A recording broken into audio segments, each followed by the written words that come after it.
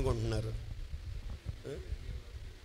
ఎందుకంటే కొన్ని కొన్ని విషయాలు మనం తప్పుగా అర్థం చేసుకుంటాం. మెలకువ కలిగి ప్రార్థించడం అంటే నిద్రపోత నిద్రపోత చేయకూడదండి అని అంటారు కొంతమంది. అంతేనమ్మా? నిద్రపోత చేయకూడదా? మెలకువ కలిగి ప్రార్థించడం అంటే నువ్వు ప్రార్థించేటటువంటి విషయం ఏంటి? దేని గురించి నువ్వు ప్రభువుని అడుగుతున్నావు? దాని వలన నీకు కలిగే ప్రయోజనం ఏంటి? జాగ్రత్త కలిగి మెలకువ కలిగి మనం ప్రార్థించాలి. శోధనలో ప్రవేశించకుండానట్లు కొంతమంది అనుకుంటారు ప్రభా ఎలాగైనా సరే ఈ సంబంధం సెట్ అయిపోవాలి. ప్రార్థన వాళ్ళ ప్రార్థన ఇది. ఏమని ప్రార్థన చేస్తారు? ఒక మంచి సంబంధం వచ్చిందనుకోండి. చక్కగా ఆస్తిపాస్తులు అన్నీ బాగున్నాయి. అబ్బాయి మంచి ఉద్యోగం చేస్తూ ఉన్నాడు మంచి ప్రయోజకుడు ఎర్రగా బుర్రగా బాగానే ఉన్నాడు. అన్నీ బాగానే ఉన్నాయి వీళ్ళకి. బాగానే ఉండేసరికి వీళ్ళు చేసే ప్రార్థన ఎలా ఉంటుందంటే పొద్దున్నే లేస్తారు. ప్రభా ఎలాగైనా చేసే ప్రభా. ఎలాగైనా సెట్ చేసే ప్రభా. ఎలాగైనా సరే ఈ పెళ్ళి జరగాలి ప్రభా. ఏ ఆటంకము రాకూడదు ప్రభా. ఎవరు ఆపకూడదు ప్రభా అని చెప్పి ప్రార్థన చేస్తారు. ఏం చేయాలి ఒరిజినల్గా? నీ చిత్తమైతే ఈ సంబంధాన్ని సెట్ చేయండి. మీ చిత్తం కాకపోతే తప్పించండి. హల్లెలూయ. ఒకసారి ఒక చోట నేను ఇదే ప్రార్థన చేశాను వాళ్ళు నన్ను పిలవడం మానేశారు. దేవునికి మహిమ కలుగును గాక. మనుషుల మెప్పు కొరకు మనుషుల్ని సంతోషపరచాలని మీరేం చేయొద్దు దేవుని చిత్తం ఏదైతే ఉందో దానినే చెయ్యండి. దేవుడు మేలు చేస్తాడు మీకు. అమ్మాయిన్ హలలోయ ఎందుకంటే నేను ఇంతకుముందు చెప్పాను వాళ్ళకు ఒక మంచి సంబంధం వచ్చింది. మంచి సంబంధం వచ్చిన తర్వాత వారు ఏంటంటే యాక్చువల్గా వేరే సంఘానికి వెళ్తూ ఉంటారు. కాకపోతే వారికి ఎందుకో మరి మనం వాళ్ళ ఇంటికి వెళ్ళిన తర్వాత వాళ్ళ పాపకి వివాహం జరిగింది. ఎప్పటి నుంచో పెళ్ళి కావట్లేదు. వెళ్ళి వాళ్ళ ఇంట్లో ప్రేయర్ చేసిన తర్వాత వాళ్ళ పాపకి వివాహం అదే వాళ్ళ పాపకి వివాహం కాదు వివాహ విషయంలోనే జరిగిన సంఘటన ఇది. అంతకుముందు వారి ఆరోగ్య విషయంలో చాలా అద్భుతాలు జరిగినాయి. అయితే వాళ్ళ పాప విషయంలో వివాహం విషయంలో ప్రార్థన పెట్టారు. ప్రార్థన చేయమని నాకు ఈ బాధ్యతను అప్పగించారు. వాళ్ళ ఇంటిలో ఐదు నిమిషాలు ప్రార్థనే జరుగుద్ది ఇప్పుడు వెళ్ళినా. ఐదే ఐదు నిమిషాలు ప్రార్థన చేసి వచ్చేస్తూ ఉంటాను. అయితే ఈ ఐదు నిమిషాల ప్రార్థనలో వాళ్ళు కోరింది ఏంటంటే అయ్యా మంచి సంబంధం వచ్చింది. ఏమన్నారు నాతో? మంచి సంబంధం వచ్చింది. ఎట్లాగైనా సరే ఈ సంబంధము సెట్ అవ్వాలి. చాలా సంబంధాలు వస్తున్నాయి పోతున్నాయి. ఎలాగైనా సరే ఇది సెట్ అవ్వాలి. ప్రార్థన చేయండి అన్నారు. నేను ప్రార్థన చేశాను ప్రభా నీ చిత్తమైతే ఈ సంబంధాన్ని సెట్ చేయండి లేదంటే తప్పించండి అని గట్టిగా మాట్లాడా. అది తప్పిపోయింది. ఇక ఆ తర్వాత వాళ్ళు జరగాలని ప్రార్థన చేయమంటే తప్పించమని ప్రార్థన చేశాడు ఈయన. ఆ సంబంధం పోయింది. ఇక ఈయన మన ఇంటికి పిలవకూడదని చెప్పి వాళ్ళు ఫిక్స్ అయిపోయారు. దాదాపు ఒక ఆరు నెలల పాటు నన్ను పిలవలేదు వాళ్ళు. ఎందుకు పిలవలేదని చెప్పి నేను అడగలేదు. ఎందుకంటే వాళ్ళు మన సంఘం కాదు. అదే మన సంఘ సభ్యులైతే అసలు వాళ్ళు ఒక వారం రాకపోతే ఏం జరిగింది అనేటటువంటి ఒక డౌట్ మనకి వస్తుంది. ఓకే మన సంఘం కాదు. ఒకవేళ వాళ్ళ సంఘ సేవకులు ఏమైనా వచ్చి ప్రార్థన చేస్తున్నారేమోలే అని అనుకున్నాను. వాళ్ళు ఫోన్ చేయకపోతే నేను ఎందుకు ఫోన్ చేయట్లేదు అని చెప్పి కూడా నేను అడగలేదు. మళ్ళీ వెళ్ళాలనే ఆలోచన కూడా నేను చేయలేదు. అయితే ఆరు నెలల తర్వాత మళ్ళీ ఒకరోజు సడన్గా వాళ్ళ పేరు పడతా ఉంది నా ఫోన్లో. ఏంటని చెప్పి ఫోన్ లిఫ్ట్ చేస్తే "అయ్యా, ఒకసారి మా ఇంటికి రండి అని చెప్పి పిలిచారు. నేను ఈ ఆరు నెలల్లో నన్ను పక్కన పెట్టారు నన్ను పట్టించుకోలేదు అని చెప్పి నేను అనుకోలే. ఎప్పుడైతే ఫోన్ వచ్చిందో మరలా వాళ్ళు పిలిచినటువంటి రీతిగా సరేనమ్మా పలానా సమయానికి వస్తానని చెప్పి నేను వాళ్ళ ఇంటికి వెళ్ళడం జరిగింది. వెళ్ళగానే ఒక స్వీట్ తీసుకొచ్చి నాకు ఇచ్చారు. ఏమంట? అయ్యా ఆ రోజు పెళ్ళి తప్పిపోయింది. ఆ తర్వాత చాలా మంచి సంబంధం వచ్చింది. ఇదిగో ఇతడు అల్లుడు కాదు మమ్మల్ని మా కొడుకులా చూసుకుంటున్నాడు. హలలో ఎగడే చెప్పలేకూడదాం దేవునికి గొప్ప మహిమ కలుగును కాదు కొడుకులా చూసుకుంటున్నాడు.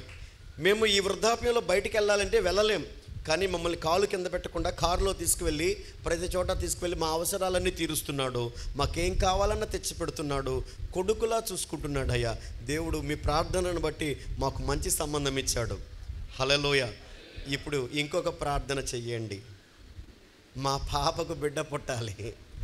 అలెలుయ వాళ్ళు అడిగింది ఏంటంటే ఇప్పుడు ఇంకొక ప్రార్థన చేయండి మా పాపకు బిడ్డ పుట్టాలని దేవునికి మహిమ కలుగును గాక మరలా పాపకు దేవుడు మంచి పాపనిచ్చాడు. దేవునికి మహిమ కలుగును గాక అమ్మేన్ హల్లెలూయ.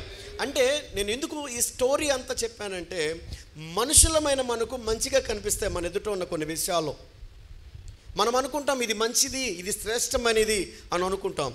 కానీ దేవునికి తెలుసు. ఎందుకంటే ఆయన రేపటిని ఈరోజే చూశాడు కనుక అమ్మాన్ ఆయన రేపటిని ఈరోజే చూశాడు. మన దినముల పరిమాణాన్ని లెక్కించాడు.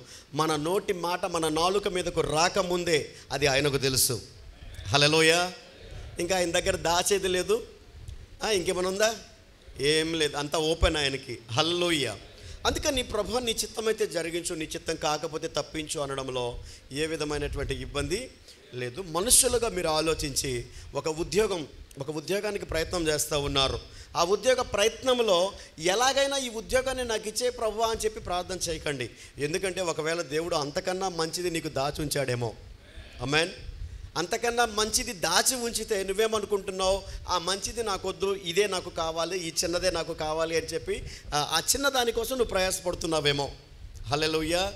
అందుకని నీ చిత్తం అయితే ఇవ్వు లేదంటే తప్పించు అంటే అప్పుడు దేవుని చిత్తానికి నీ పనిని అప్పగించావు. పనుల భారం ఎవరి మీద మోపాలి? యహోవ మీద మోపాలి. నీ పనుల భారం యహోవ మీద మోపము అప్పుడు నీ ఉద్దేశములు సఫలమవుతాయి. హల్లలోయ. అందుకని మన పనుల భారము మన బాధ్యతలు మన అవసరాలు ప్రభువుకి అప్పగిచ్చేసి ప్రభు నీ చిత్తమైతే ఇప్పుడు చూడండి మీకు పెద్ద బాధ ఉండదు. ఒక సంబంధం తప్పిపోయిన బాధ ఉండదు. ఒక ఉద్యోగం తప్పిపోయిన బాధ ఉండదు. ఎందుకని? అప్పుడు నువ్వు అనుకుంటావు నీలో ఉన్న విశ్వాసాన్ని బట్టి ఇది దేవుని చిత్తము కాదేమో? హలోయ అప్పుడు నువ్వు సంతోషంగానే ఉంటావు. అలా కాకుండా జరగాలి జరగాలి జరగాలని ప్రార్థన చేస్తే తప్పిపోయింది. ఇప్పుడు ఏడుస్తా కూర్చోవాలి. అంతే కదా? ప్రభు నీ చిత్తమైతే జరిగించు అన్నావు. అది తప్పిపోతే ఓకే ప్రభు చిత్తం కాదేమో. దేవునికి మహిమ కలుగునుగాక ఇప్పుడు నువ్వు యథావిధిగా సంతోషంగానే ఉండగలుగుతావు.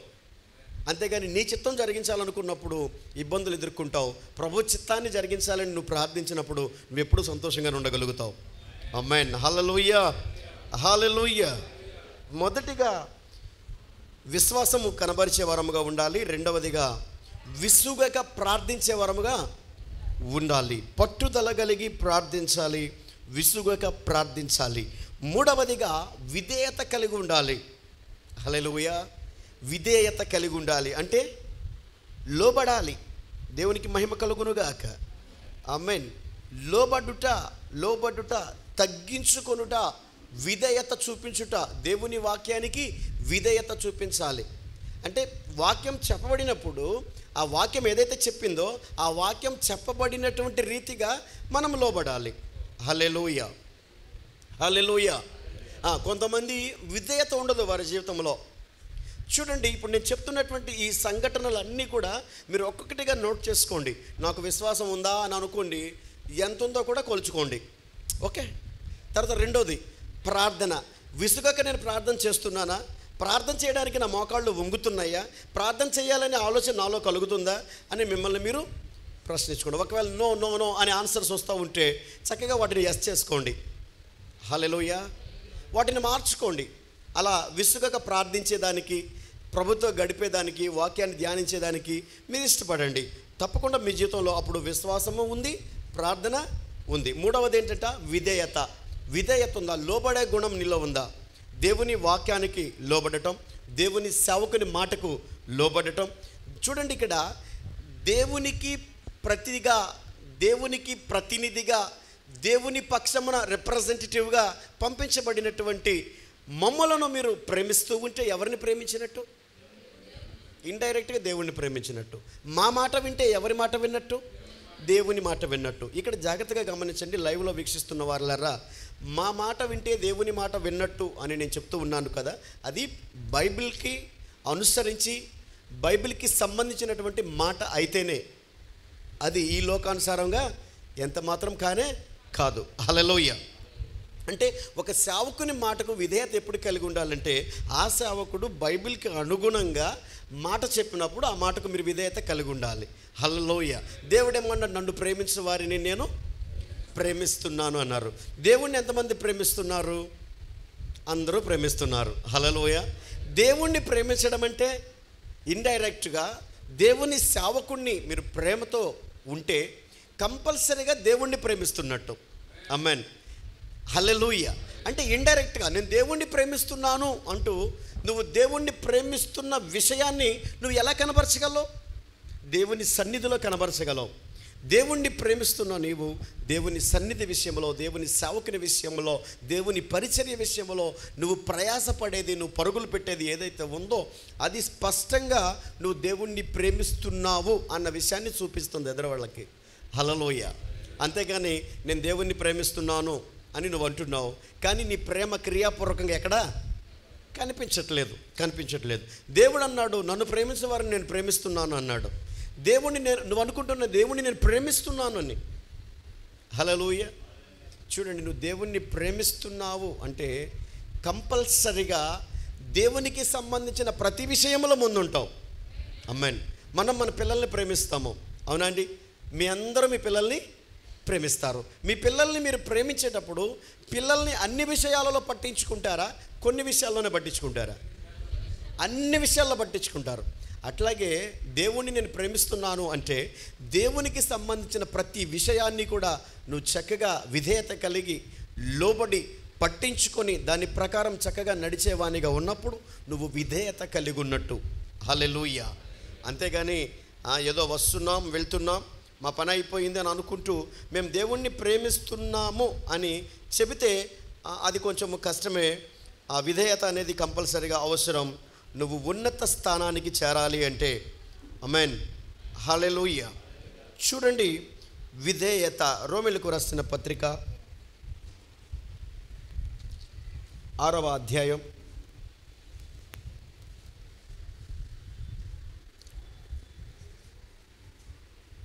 పదహారవ వచనం.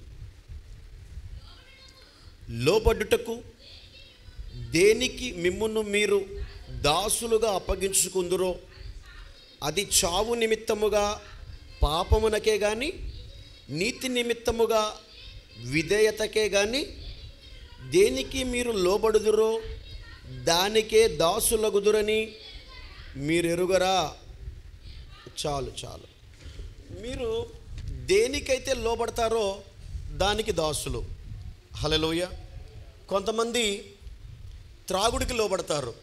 వారు త్రాగుడికి దాసలైపోతారు. కొంతమంది కొన్ని విషయాలకు లోబడతారు. ఆయా విషయాలకు వారు దాసులైపోతారు. అయితే మనం దేనికి లోబడాలి? దేవుని మాటకు లోబడాలి. హలలోయ దేవుని మాటకు లోబడాలి. దేవునికి దాసులముగా అయిపోవాలి. అమ్మాన్ ఒక త్రాగుబోతూ త్రాగుడికి దాసుడైపోయినట్టు తాగుబోతూ మనం ప్రశ్నిస్తే అతను అంటాడు నేను తాగకుండా ఉండలేకపోతున్నాను అంటాడు. మీరు అనాలి నేను ప్రభు సన్నిధికి వెళ్ళకుండా ఉండలేకపోతున్నాను అని. అమ్మాన్ నేను ప్రార్థించకుండా ఉండలేకపోతున్నాను అనాలి. నేను ప్రభువుని స్తుతించకుండా ఉండలేకపోతున్నాను అనాలి. హలలోయ ఆ విధమైనటువంటి దాసులుగా మీరు మారినప్పుడే మీరు విధేయత చూపినటువంటి వారుగా ఉంటారు. దేవునికి గొప్ప మహిమ కలుగునుగాక. అమెన్ హలలోయ ఒక సేవకుడు చెబుతూ ఉంటే విన్నాను. ఒక సంఘములో ఒక ఇద్దరు యువకులు ఒక ఇద్దరు యువకులట ఆ సంఘానికి వచ్చారటండి. వచ్చి ఆ సంఘానికి వచ్చి అయ్యా ఇక్కడ ఏదైనా పని ఉంటే మేము చేస్తాము. మేము దేవుని సేవ చేయాలనుకుంటున్నాం. మీరు ఏ పని అప్పగించినా మేము చేస్తాము. మందిరాన్ని క్లీన్ చేయమన్నా కుర్చీలు క్లీన్ చేయమన్నా టాయిలెట్స్ క్లీన్ చేయమన్నా ఏ పని చెప్పినా మేము చేస్తాము. దయచేసి మాకు ఏదైనా పని చెప్పండి అని అడిగారటండి. అడిగిన తర్వాత ఆ కుర్రాడు చాలా చిన్నగానే ఉన్నాడట. ఇద్దరు కుర్రాళ్ళు వచ్చారు. ఇద్దరు కూడా అడుగుతూ ఉన్నారు. అడుగుతూ ఉంటే ఏం పని చేస్తారయ్యా? అంటే వాళ్ళు ఏ పని ఇచ్చినా చేస్తాము. ప్రతి ఆదివారం మీ సన్నిధికి మేము వస్తాము. మీరు ఏ పని చెప్పినా మేము చేస్తాము. మాకు ఏదైనా పని కంపల్సరీగా చెప్పండి అన్నారు. అన్న తర్వాత ఆయన మరి ఎవరో ఏంటో తెలుసుకోవాలి కదా. మీరు మీరు ఎవరు ఎక్కడి నుంచి వచ్చారు మీరు ఏం చేస్తారు అని అడిగితే ఆ వ్యక్తి అన్నాడట అయ్యా నేను ఎంబీబీఎస్ పూర్తి చేసుకుని ఒక స్పెషలైజేషన్ తీసుకుని డాక్టర్గా చేస్తున్నాను అని చెప్పాడటండి. దేవునికి మహిమ కలుగునుగాక. అంటే ఇది యథార్థ సంఘటన అండి ఇది ఏదో కట్టు కథ కాదు. దీనికి ఆధారాలు ఉన్నాయి నా దగ్గర. కావాలంటే మీరు నా దగ్గరికి వస్తే చూపిస్తాను. ఓకే? అయితే ఆ వ్యక్తి అంత ఉన్నత చదువు చదువుకొని నెలకు లక్ష యాభై వేల రూపాయలతో అతని అతని శాలరీ స్టార్ట్ అయ్యింది. నెలకు లక్ష యాభై వేల రూపాయల శాలరీ తీసుకుంటూ ఆ సన్నిధికి వచ్చి అయ్యా ఏదైనా చిన్న పని మా అమ్మ చెప్పింది. దేవుని సన్నిధిలో ఏ పని ఉన్నా చేయరా అని చెప్పి చిన్నప్పటి నుంచి నాకు చెబుతూ ఉండేది. ఏదైనా ఒక చిన్న పని ఏ పని ఉన్నా చివరికి టాయిలెట్స్ క్లీన్ చేసే పని అయినా సరే నాకు ఇవ్వండి నేను చేస్తానని చెప్పి ఆ ఇద్దరు యువకులు వచ్చి పాస్టర్ గారి దగ్గరకు వచ్చి అడుగుతూ ఉన్నారట దేవునికి మహిమ కలుగునుగాక. ఆమెన్. చాలా నమ్మకముగా చాలా బాధ్యతగా అక్కడ సన్నిధిలో ఉన్న ప్రతి ఒక్క పనిని చక్కగా నిర్వర్తించేవారటండి. అదే సేవ అంటే దేవునికి మహిమ కలుగునుగాక. హలలోయ ఒకనొక రోజు ఒకనొక రోజు ఆ సేవకుడు వారి ఊరి మీదగా ఒక ఊరు వెళ్ళవలసి వచ్చింది. వెళ్తున్నప్పుడు పలానా ఊరు వెళ్తున్నారు కదా అయ్యగారు మీరు ఆ ఊరు వెళ్ళే దారిలోనే మా ఊరు ఉంది. ఒక్కసారి మా ఇంటికి రండి అని చెప్పి ఆ ఇంటికి ఆ కుర్రాడు ఆహ్వానించాడంట. ఆహ్వానించిన తర్వాత వారింటికి వారి ఇంటికి వెళ్ళి రాత్రి పన్నెండున్నర గంటల సమయంలో వారి ఇంటికి వెళ్ళారట.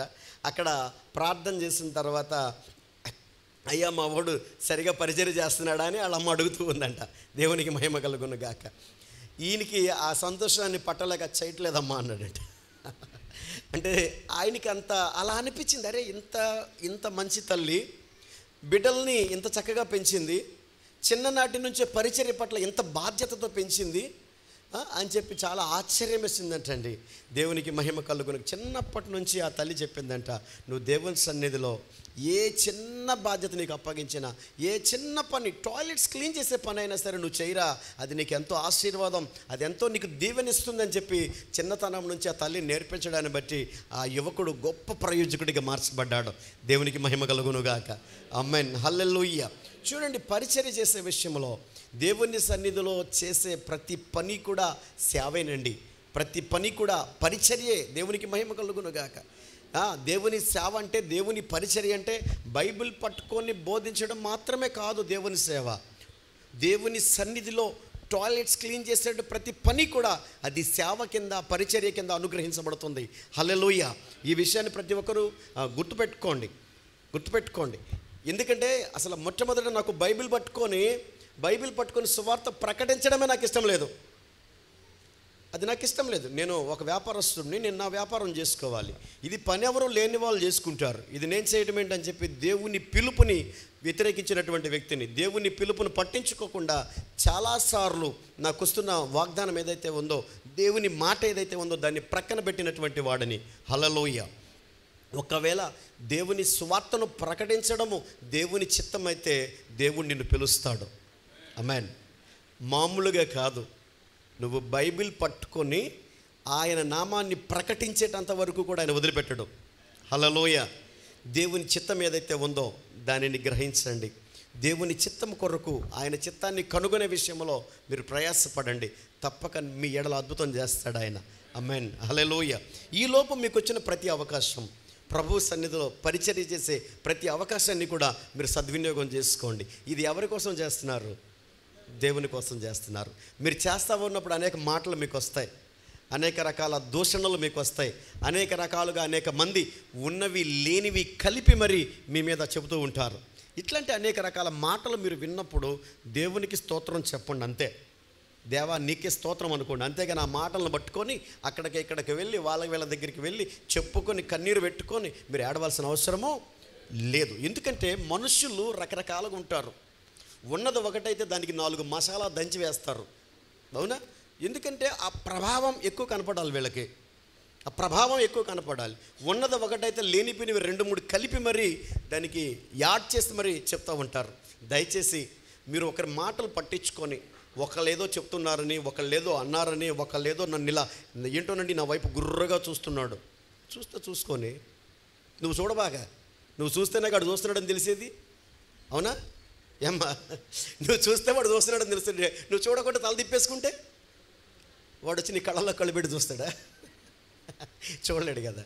హలలోయ అంటే ఎవడో ఏదో అన్నాడు ఎవడో ఏదో తిట్టాడు. వద్దండి ఏసై ఇలాంటి వాడినే తిట్టారు. మనమెంత? ఏసై అలాంటి వాడినే కొట్టారు దూషించారు లేనిపోయిన మాటలు అన్నారు నానా ఇబ్బందులు పెట్టారు. అవునా? మనమెంత?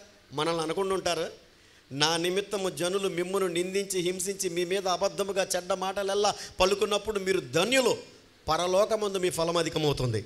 అమెన్ మిమ్మల్ని గురించి ఎవరైనా నిందిస్తున్నారా? మిమ్మల్ని గురించి ఎవరైనా లేనిపోని మాటలు మాట్లాడుతూ ఉన్నారా? పరిచర్యలు నువ్వు వాడబడతా ఉంటే నిన్ను హేళన చేస్తూ నిన్ను దూషిస్తూ నిన్ను వెనక్కి లాగే ప్రయత్నం చేస్తూ ఉన్నారా? పరలోకమందు మీ ఫలం అధికమవుతుంది. మీరు గుర్తుపెట్టుకోండి. మీరు వెనక్కి తగ్గాల్సిన అవసరము లేదు ముందుకు సాగండి. ఒక లీడర్ యొక్క పర్యవేక్షణలో ముందుకు వెళ్ళండి. ఎవరికి ఇష్టం వచ్చినట్టు వారు చేయొద్దు. గలిబిలి వాతావరణం అయిపోద్ది. హలలోయ ఇవన్నీ కూడా దృష్టిలో పెట్టుకొని ముందుకు సాగండి. విధేయత కలిగి ఉండండి. సేవకుని మాటకు విధేయత కలిగి ఉండండి. వాక్యమునకు విధేయత కలిగి ఉండండి. ఆ కుర్రాడు చిన్ననాటి నుంచి కనబరిచినటువంటి విధేయత ఏదైతే ఉందో అతడిని ఉన్నతముగా దీవించింది. ఆమెన్. అలా ఉన్నతముగా మీరంతా దీవించబడుదురుగాక. ఆమె ఇప్పటిదాకా ఏం నేర్చుకున్నారు? మొదటిగా విశ్వాసము రెండవదిగా ప్రార్థన మూడవదిగా విధేయత నాలుగవదిగా ఓర్పు కలిగి ఉండండి. హలలోయ ఏముండాలి మనకి? ఓర్పు ఉండాలి. ఓర్పట గొప్ప ద్రోహ కార్యాలు జరగకుండా ఆపుతుందటండి. హలలోయ ఓర్పు లేకపోతే కుటుంబాలు కుక్కల చింపిన విస్తరైపోతాయి. ఓర్పు లేకపోతే. ఏ కుటుంబంలో అయితే భార్య భర్తలు ఇరువురు కూడా ఓర్పు కలిగి ఉంటారో వారు సంతోషంగా ఉంటారు. అమ్మాయిన్ హలెలోయ ఓర్పు లేకపోతే ఆ, అంతే సంగతులు. ఓర్పు కలిగి ఉండాలి ఓర్పు కలిగి ఉండాలి. ఒక భార్య భర్తలు ఇరువురు ఒక సేవకుని దగ్గరకు వచ్చి అయ్యా మాకు వివాహం ఇరవై ఐదు సంవత్సరాలు పూర్తయింది. ప్రార్థన చేయండి అని వచ్చారటండి. వస్తే ఆ సేవకుడు వారికి ప్రార్థన చేసి ఉండబట్టలేక అన్న మీ ఇరవై ఐదు సంవత్సరాల దాంపత్య జీవితంలో ఏ రోజైనా అక్క పెట్టే బేడ వెళ్ళిపోయిందా? అని అడిగాడట. అడిగితే లేదు తమ్ముడు ఎప్పుడు? అలా జరగలేదు అసలు ఏ రోజు అవి ఇల్లు వదిలిపెట్టి వెళ్ళలేదు? అన్నాడట. అన్న తర్వాత అవునా ఇది ఎలా సాధ్యమన్నా? అని అడిగాడంట. లేదు లే- అసలు ఇది ఎలా సాధ్యం అనే దానికి అతను ఇచ్చిన వివరణ అద్భుతంగా ఉంది. ఎలా ఇచ్చాడట? ఏ రోజు వెళ్ళలేదు. ఏం జరిగేది అంటే ఒకవేళ నాకు కోపం వచ్చి నేను అరుస్తూ ఉంటే ఆమె అక్కడ ఉండేది కాదు. ఇంట్లోకి వెళ్ళిపోయి వంటింట్లోకి వెళ్ళిపోయి ఏదైనా పని చేసుకుంటూ ఉండేది. ఒకవేళ నేను వంటింట్లోకి వెళ్ళి మరీ అరుస్తూ ఉంటే బయటికి వెళ్ళి బట్టలు దుక్కుంటూ ఉండేది. ఇట్లా నేను ఉన్న దగ్గర కాకుండా దూరంగా వెళ్ళిపోయేది. నాకు కోపం ఉన్నంతసేపు కూడా నా దగ్గర ఉండేది కాదు. నాకు వెడంగా వెళ్ళిపోయేది అని అన్నాడు. అన్న తర్వాత అక్క నీకు ఈరోజు రోజు కోపం రాలేదా? అని అడిగాడు. ఎందుకు రాదు కోపం? అడిగాడండి అక్కడికి ఏ రోజైనా కోపం వచ్చిందా? వచ్చేది. ఆమెకు కోపం వచ్చి వంటగదిలో చప్పుళ్ళు వినిపిస్తూ ఉన్నప్పుడు గిన్నెలు డబడబడబమని అంటున్నప్పుడు నేనేం చేసేవాడినంటే మెదలకుండా షర్ట్ వేసుకుని బదారికి వెళ్ళిపోయేవాడిని అన్నాడట. అల్లెలో ఎగటికి చెప్పకూడదాం చూడండి ఇది ఓర్పు అండి. నేను భర్తని. నేను గ్రేటు. నా మాటే జరగాలి. నేను చెప్పినట్టే జరగాలి అంటే ఏమున్నది అక్కడ. హలోయ నువ్వు ఓర్పు కలిగి నీ కుటుంబం చిన్నభిన్నం కాకుండా జాగ్రత్త కలిగి ఆచితూచి అడుగులు వేస్తూ కోపం ఎవరికైనా రావచ్చు. ఎదుటి వారిలో కోపాన్ని నువ్వు గమనించినప్పుడు అది ఏ విధంగా ఆ కోపాన్ని తగ్గించాలో నువ్వు చూడాలే కానీ ఆ కోపాన్ని పెంచేవాడిగా ఉండకూడదు. కొంతమంది రెచ్చగొడతారట. ఏంటి కొడతావా? అంటే కొంతమంది ఆడవాళ్ళు అంటారు. ఏంటి కొడతావా? కొట్టు కొట్టు అని దగ్గరికి వెళ్తారంట. ఉన్నారు అలాంటి వాళ్ళు చాలా చోట్ల చూస్తుంటారు మీరు. ఏంటి కొడతావా అని చెప్పి ఎదురు తిరుగుతారంట భర్తకి. కొడతావా అని చెప్పి ఏది కొట్టు కొట్టు అని దగ్గరికి వెళ్తారంట. కొట్టకుండా ఉంటాడా? అంటే ఇట్లా రెచ్చగొట్టే వాళ్ళకు ఉండకూడదు. రెచ్చగొట్టే వాళ్ళకు ఉండకూడదు. కోపం వచ్చింది నువ్వు గమనించావు. ఆ కోపాన్ని అణిచే ప్రయత్నం చేయి. ఓర్పు కలిగి ఉండు. కోపం ఎవరికైనా వస్తుంది. చాలా సందర్భాల్లో చెప్పుకున్నాం పిల్లికి కూడా కోపం వస్తుంది అని చెప్పి. నాలుగు గోళ్ళ మధ్య బంధించి పిల్లిని కొట్టాలని మీరు ప్రయత్నం చేస్తే పిల్లి పులిలా తిరగబడుతుంది మీ మీద. మరి పిల్లికే కోపం వస్తున్నప్పుడు నీ భార్యకి ఎందుకు రాదు? వస్తుందా రాదా? వస్తుంది. కంపల్సరీగా వస్తుంది. అప్పుడు ఏం చేయాలి? ఓర్పు కలిగి ఉండాలి. దేవునికి మహిమ కలుగునుగాక. భార్య అంటే భరించేస్తుందిలే. నేనేం చేసినా పడుంటుందిలే. నేను చెప్పినట్టే వింటదిలే అని చెప్పి అనుకోకూడదు. ఆమెకు కొన్ని ఆలోచనలు ఉంటాయి. ఆమె కూడా ఆమె కూడా కొంత జ్ఞానం నేర్చుకుంటా ఉంది. ఆమె చెప్పిన విషయాలను మీరు పరిగణలోనికి తీసుకొని జాగ్రత్త కలిగి ముందుకు సాగాలి. దేవునికి మహిమ కలుగును అమెన్ హలలోయ హెబ్రిలకు రాసిన పత్రిక ఆరవ అధ్యాయం పదకొండవ వచనం నుండి చదవమ్మా. హెబ్రిలకు రాసిన పత్రిక ఆరవ అధ్యాయం పదకొండవ వచనము నుండి.